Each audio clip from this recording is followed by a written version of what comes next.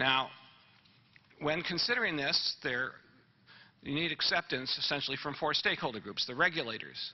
And the state of California's regulator for Fort Ord is Roman Racca.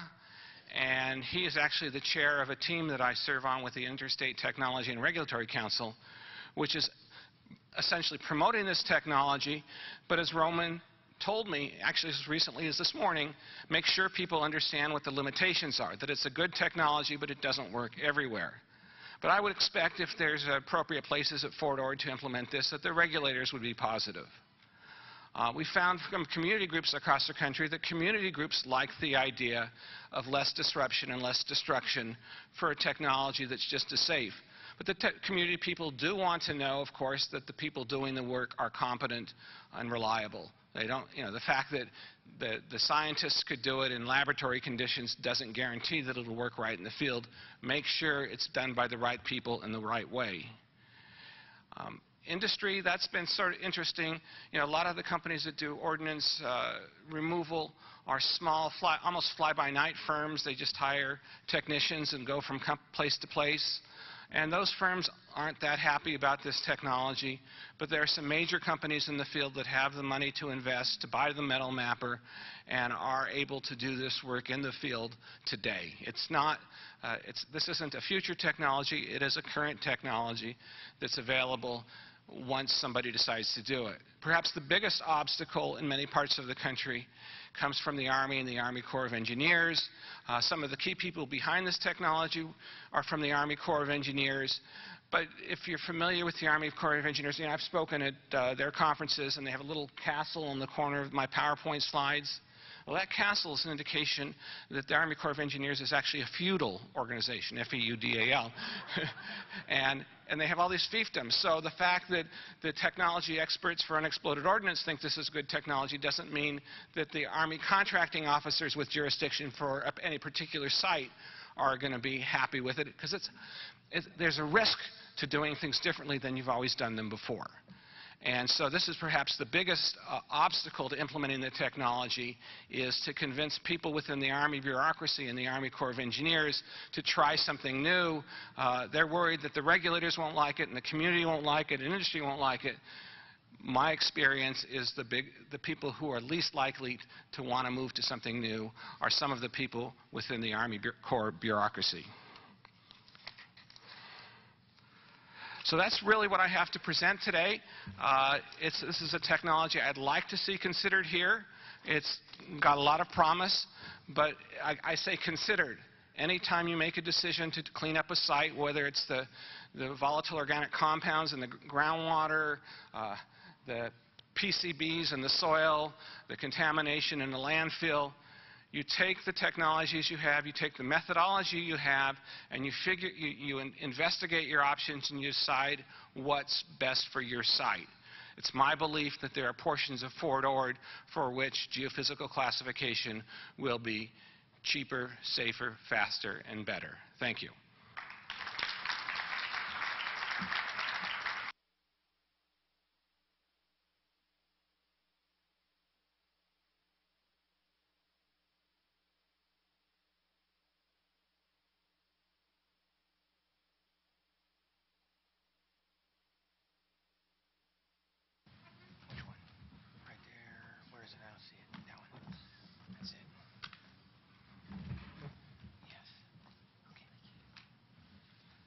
I want to thank FORA and CSUMB for having me.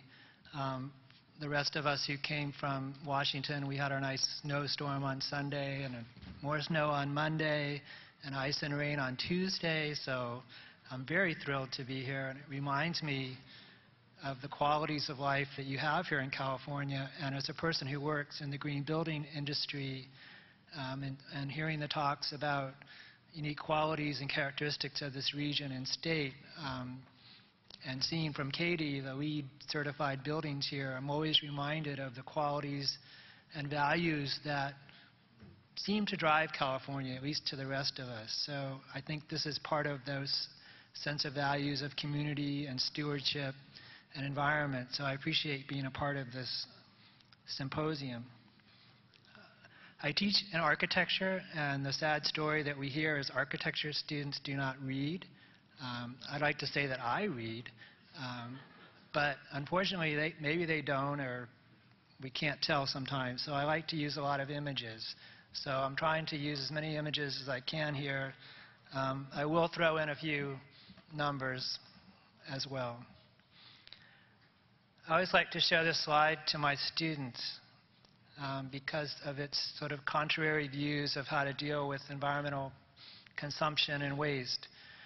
And it's meant to be funny, and I think it's funny, but I think another point of it is there is no one perfect solution.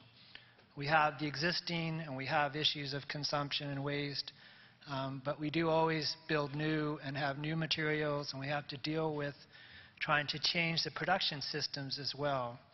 So do we help the environment by producing more green stuff, or do we help the environment by retaining what we have, reusing what we have, and we just have to take each of those questions and apply them to the circumstances, such as here at Fort Ord, in each case, and as we can best make them work. I have my, my threes. You know, threes is a very powerful number, um, especially coming from Catholic universities. So that's.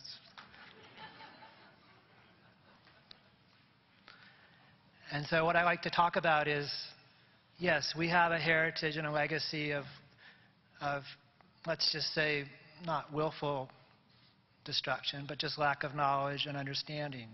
And again, Fort Ord is the case of that. So we have to deal with what we have, and we have to recover and remediate as best we can. Knowing what we know, and as we constantly learn, we also then have to take what we have and try to reconstitute it, recycle it, reuse it, try to put it back into use. So that's my second part of this, this cycle, I'll call it. And then last, we can go to the next level. What will buildings be in the future? What is the design today? And we can't know the future, but we can use our intelligence to design in a way to try to mitigate and actually avoid all these problems that we've created for ourselves in the past. So what will be new materials, new design techniques, to actually just eliminate this constant struggle with um, the unknowns and, the, and the, I'll call them mistakes that we've created for ourselves. So this is just a slide. I do different projects with my students. Um, in your upper right, you see a, a, deconstruction project. So we work with um, dismantling old buildings, such as here at Fort Ord and different places, and recover the materials as best we can. Um, that deck is, we did an entry to the Solar Decathlon this year, which, gee whiz, every year it's been in Washington, D.C. until this year, the first time that Catholic entered, and it was in Irvine, California. So unfortunately, in a very unsustainable manner, we had to ship our home all the way across the, the country here to California. Um, but that material then went into that deck for that house, which um, I'm pleased to say went to a wounded veteran um, in the Southern California area. And then the last picture is a design from uh, Delft in Netherlands, where they're very progressively looking at designing buildings to be adaptable and deconstructible and use materials which by themselves are not environmental hazards or difficult to reuse or recycle in the future. Benign materials um, and using uh, careful thinking. So I'm going to take that three part of recover, reuse, and redesign and a little bit talk about the past. I've been to Fort Ord before, um, approximately 10 years ago, when quite a large effort to look at the deconstruction of the wood frame buildings. And so a lot of effort went into that. But I show this picture not necessarily because of the re results, such as a million tons of this went somewhere or some economic development that took place, but because the opportunity that was presented there was to explore these techniques of deconstruction. And this knowledge has now actually gone quite a bit around the country. So the idea of panelizing or using different machinery was not really a practice that was used in this area of building deconstruction and materials recovery. But what Fort Ord provided to the people who worked on that project, or a different series of projects, was the opportunities to explore technology, explore techniques. Um, there's been different um, encapsulation techniques, these different recycling techniques, which, whatever the impact of that immediate opportunity, that knowledge is what's important, the generation of that knowledge, and how that starts to change the industry across the country. And as we all know, you have these kind of conditions still existing um, as the, the, slow and I guess now going to be much more rapid process of remediating the blight. But reuse takes work and recycling takes work. The environmental hazards, the lead-based paint, the asbestos that's embedded in these materials, as we know, are very difficult and costly to recover and also make these materials healthy again for reuse. But I'd like to point out, if you think about, um, for example, the U.S. Green Building Council as an agent of change in this country and internationally now, 10 years ago, there was no LEED rating system. Um, GSA and, and primarily federal agencies adopted it. Those are tremendous markets for the products and services of green building. Now, the U.S. Green Building Council projects by 2015 in the hundreds of millions of dollars of products and services in the industry driven by the demand for, in this case, green materials. So that work doesn't mean that in the future, and as we grow and, and create these demands for green building and green products, those markets won't be realized. Sure, a lot of things take time. Um, but the growth of just that particular industry, as thinking about California, um, Cal Green, and the different codes and standards that you have here, um, you're obviously one of the biggest markets for this whole way of thinking. You are fortunately here at Fort Ord, you are sort of at the perfect storm of asbestos and lead-based paint. So this chart is very simplified, but to show the consumption of asbestos-containing materials in the United States in the 20th century and also um, lead, lead-based paint materials. And the lead-based paint line is for residential uh, buildings. I don't have the data for commercial. So in the early part of the 20th century, almost every home had lead-based paint. And as you know, lead was discovered to be harmful a little earlier than asbestos, and asbestos, you know, caught up pretty quickly. But the, literally the peak of asbestos use in this country was right about the time that a lot of the buildings that were built here. Um, so unfortunately, you are left with this legacy of a lot of lead and a lot of asbestos. Fortunately, as you can see that the trend has gone down in the outline of lead and asbestos and materials in this country, although there are still some products that can be imported. Um, we, we figured it out. But that's, that's, a, that's, that's a century. You know, that's an entire century from kind of start to finish that it took to go through that process of figuring it out. Maybe these aren't such good things to use in our building products or in our homes.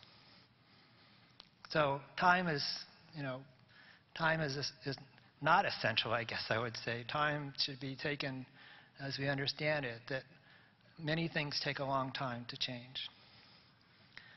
The impact of building materials in this country, so in the U.S. economy, we had about 3.4 billion materials go through the economy. In 1900, about 90% of all materials used in this country were fiber-based or quote, renewable materials from agricultural sources. In 2000, that was reversed. Only about 5% of building products used in this country came from renewable sources. So we primarily are driven by inorganic um, ores, aggregate, sand, gravel, stone, iron, and so on. Those are the materials that we use now. None of those are renewable. And construction materials globally produce about 11% of CO2 emissions annually, and cement alone is about 7% of all global CO2 emissions, just the production of cement, which um, it is the most commonly used material um, in the world, but lately just thinking more about the concrete buildings that you have here at um, Fort Ord. What does that mean for us?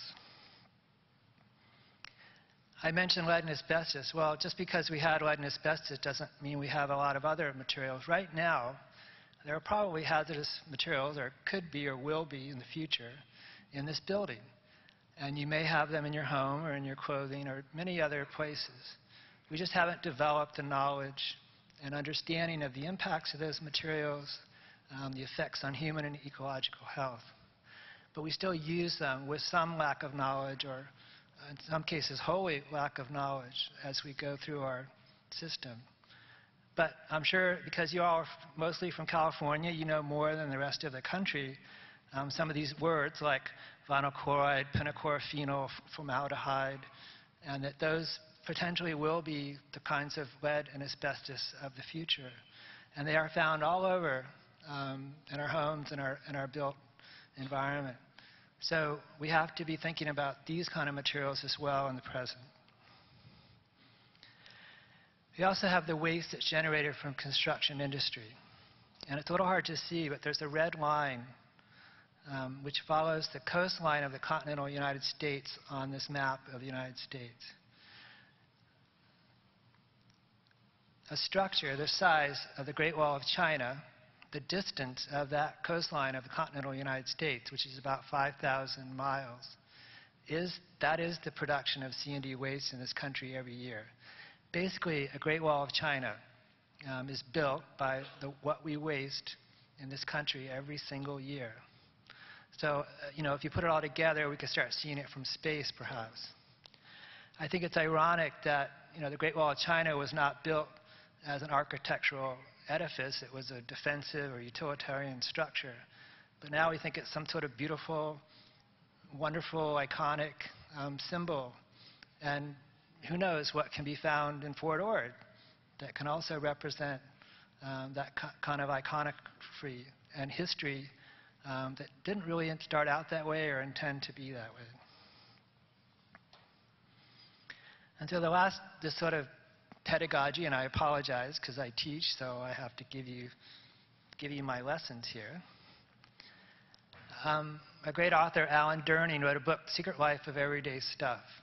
And what he found was the average products produced in the U.S. economy take about 16 times more raw material than ends up in the product.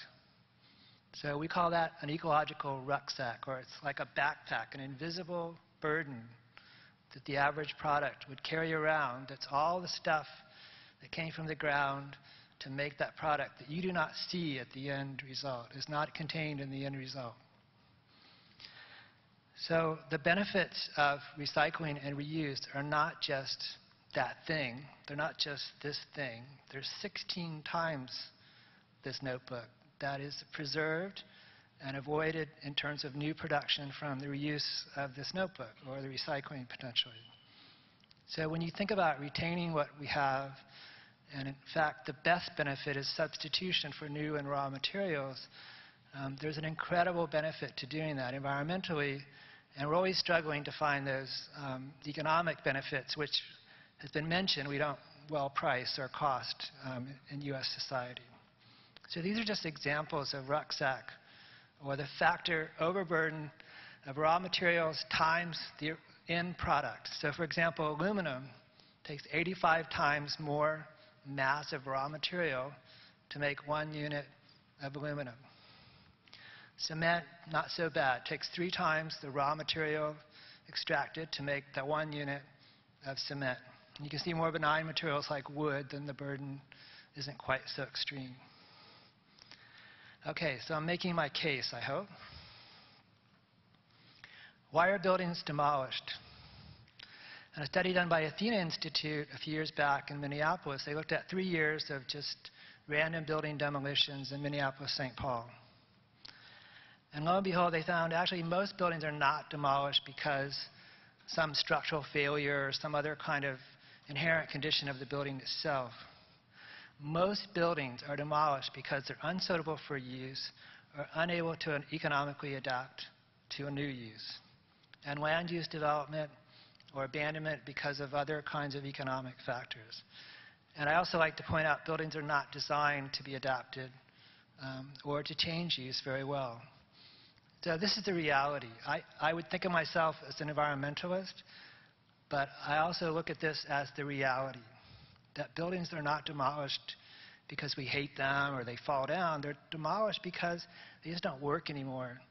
And we have to deal with changes of land use, changes of function, aesthetics, style, all the factors that are the qualities of a building that we can then think about um, in terms of what we need now, what we may have, and what we need in the future. So back to the imagery and for architecture students. So this is just a simple example of an old concrete barn that was turned into a beautiful modern home by hollowing out and leaving the exterior walls and inserting this aesthetically pleasing, perfectly modern, functional um, house while retaining the character of these old walls. It's just saying, you know what, I got this. What am I going to do? How can I be creative about retaining the, the structure of the shell um, while doing what needs to be done? A similar case, Savannah College of Art and Design, taking an old, uh, I think it was a trolley kind of maintenance facility, old brick warehouse falling down, the bricks were falling off, and they built a new museum um, in some part of it, but they couldn't retain all of it. So they just built this creative, beautiful sort of structure wall enclosing this lawn and put you know sort of artful looking arrangement of chairs. And now they have this really interesting, evocative outdoor exterior space that's part of their campus and retain some quality as much as they can of the historic infrastructure. Even down to simple things. So these are just concrete slabs taken up, oriented in a way to create a kind of wetlands mitigation, stormwater flow um, system, and a wetlands restoration project. So they're actually able to use this material in tune with the environment to create the stormwater management system, slow down the flow of the water, allow it to filtrate, just using the raw material that they had from a salvage or sidewalk, I think it was. And University of Colorado students taking just rubble and making what, what are called gabion blocks, very large structures of wire cage and rubble for a farm building, but evocative and beautiful, and turning the sort of, you know, the sort of pearl into something. I should say it the other way around, right? It's like the pig and the pearl or whatever. I can never get that one right. And then just another very simple example, the ruins of a historic home, completing the wall which was abandoned and decayed into the actual structure and, and rectilinear structure that was needed for this enclosure. And then lastly, in East Germany, taking the old abandoned concrete um, cast and panelized housing projects. And this artist actually took two floors of one of these uh, concrete structures and made this outdoor sculpture garden. The furniture is actually concrete, so that cast is a new material. Um, but it's the footprint that they've reconfigured um, in a completely different way, and I think it would create a completely different feeling or perspective for the people in that, those communities and those cities. Okay, and so very briefly, the future. Um, this is adapted from a, a, wonderful man, Malcolm Wells, who um, was a very quiet man. He was never known, I think, nationally as one of the founders of green building movement in the latter 20th century, but I, I feel he was. He just wasn't um, given the credit that he might have deserved. And so he has this very simple idea of a checklist for sustainable building. And I give this to you because just to think about the possibilities when we do get very bound up on how much does this cost? How long does it take? You know, what's the problem? What, what are the issues? What is this and that? Or we can say, what do we want? and what is the vision and what is the kind of hopeful perspective that we want to go for.